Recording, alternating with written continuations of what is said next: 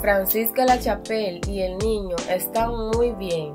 Raúl González actualiza el estado de la conductora de Despierta América. Francisca está muy bien y el niño también.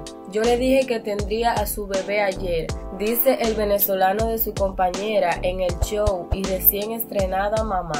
La noticia de que Francisca La Chapelle se ha convertido en madre ha dejado a todas las madres más que felices. Aunque la dominicana aún no ha aparecido para informar a su público el bebé, su colega, el conductor Raúl González, compartió en People en Español que ambos se encontraban de maravilla.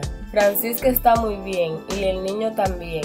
Yo le dije que tendría a su bebé ayer, dice González, quien también se siente entusiasmado con la llegada al mundo de esta criatura. El copresentador venezolano de Despierta América, Univisión, agregó que Francisca saldrá del hospital mañana. Francisca dio a luz a su primer hijo, Gennaro Antonio Gamelier Zampogna, fruto de su matrimonio con Francesco Zampogna. En Despierta América anunciaron la llegada al mundo del pequeño y detallaron que había nacido el miércoles a las 10 y 27 pm, pesando 8.4 libras. También compartieron la primera imagen del bebé en brazos de Francisca, quien estuvo trabajando en Despierta América hasta la mañana del miércoles.